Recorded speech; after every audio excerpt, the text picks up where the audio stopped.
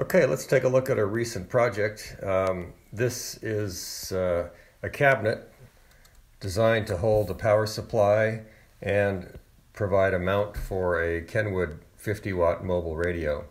Um, the cabinet itself is made out of a thin um, piece of wood with a bit of a veneer on it. Down below, you see the power supply, and uh, you can see the let me get a little light in here. You can see the uh, coiled wires. This is the fan for the power supply to keep it cool, and there's plenty of uh, room in there for ventilation.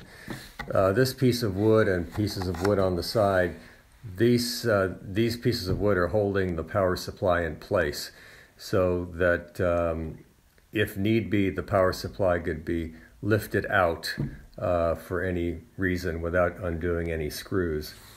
Um, the cabinet itself has, uh, you know, a decent looking veneer here. Um, the trick was figuring out how to support these teeny tiny screws, so I had to put little uh, supplemental pieces of wood in there. This is the back side, obviously. Uh, something in here. This is a brace with zip ties to control um, the tension on the cables. This is the power to the radio, 12 volt, and this is the power coming from the wall, 110 volt AC. And all of the 12 volt cables are kind of tucked up there if need be for other purposes, and then they come up and they feed the back of the radio, obviously.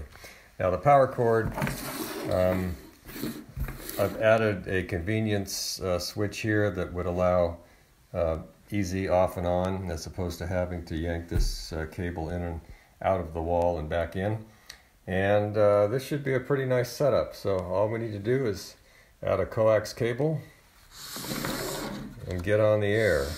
The power supply that is being used here is uh, under $20 and uh, purchased it on Amazon. Obviously, it's a bare bone power supply, so my strategy was to build a cabinet to support it, protect it a bit, and uh, provide a way to connect the uh, cables, the power, and so on and so forth. So this power supply is about $19.